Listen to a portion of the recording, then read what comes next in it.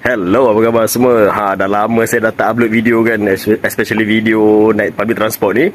Jadi hari ini saya akan tunjuk anda cara-cara untuk menggunakan public transport seperti train menuju ke area Petaling Jaya. Anda kena layan video ni sampai habis.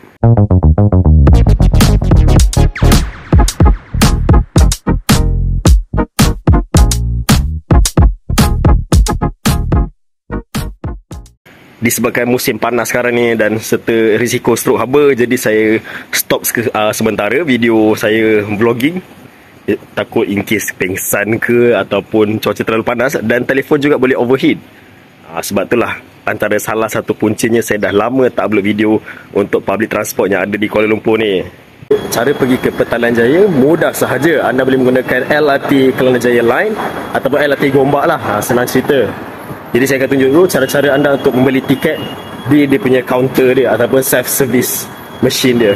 Pertama sekali anda boleh pergi ke dia punya mesin ni. Anda boleh tengok ada laluan Kelana Jaya Line. Okey, jadi sekarang kita berada di Subang Jaya dan kawasan-kawasan ini adalah kawasan Petaling Jaya seperti di Kelana Jaya, Taman Bahagia, Taman Paramount, Asia Jaya dan Taman Jaya.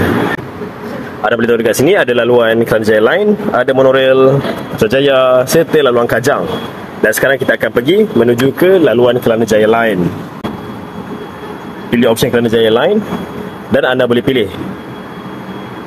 Macam saya, saya akan pergi ke kawasan Petaling Jaya iaitu Taman Jaya. Harga tiket adalah RM3.10 kalau anda seorang tak perlu tambah kalau anda datang lebih daripada seorang boleh tambah dekat sini 2, 3, 4, 5 ha, tak kisah harga dia akan bertambah dan tekan tunai serta masukkan tunai ke dalam ni mudah sahaja tapi sebabkan saya gunakan Tashengo Batal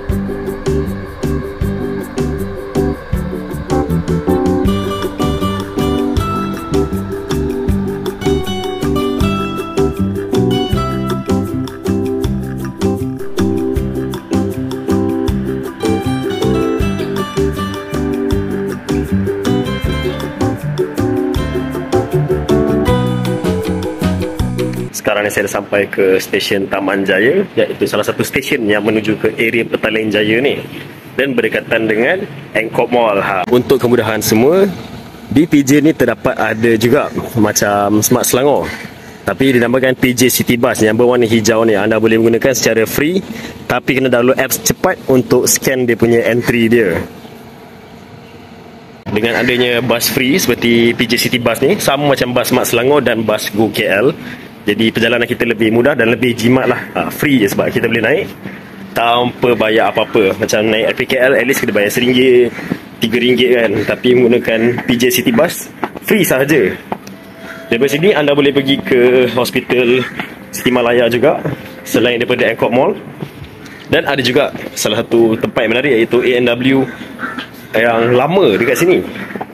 Kalau anda nak pergi ke area Paradigm Mall, anda boleh stop ke area Kelana Jaya Line ataupun memang stesen ni adalah stesen Kelana Jaya Dari situ anda boleh menggunakan Grab ataupun kalau ada shuttle pergi ke Paradigm pun boleh gunakan juga. Dekat situ ada pelbagai bas PKL yang anda boleh naik. Macam saya dulu saya akan pergi ke college. Daripada situ saya boleh naik bas dan balik ke rumah. Ha, memang mudah. Sebelum anda menaiki LRT, MRT atau BRT serta monorail, pastikan anda mempunyai touch and go supaya memudahkan urusan anda untuk transit ke mana-mana stesen, ke mana-mana platform. Ha, dan paling penting sekali anda kena aktifkan My City Pass tu dengan harga RM5 sahaja anda boleh pergi ke unlimited ride selama 24 jam. Tak kisah pergi nak pergi ke KCC, tu nak pergi Putrajaya ke ataupun dari Putrajaya nak pergi ke mana-mana stesen sekalipun. Asalkan LRT, MRT, BRT serta monorail. Harga RM5. Pastikan anda ada minimum baki RM10. RM5 akan uh, didak daripada anda punya kad touch and go. Cara dia mudah saja anda just pergi ke kaunter cakap dengan dia saya nak aktifkan my city pass.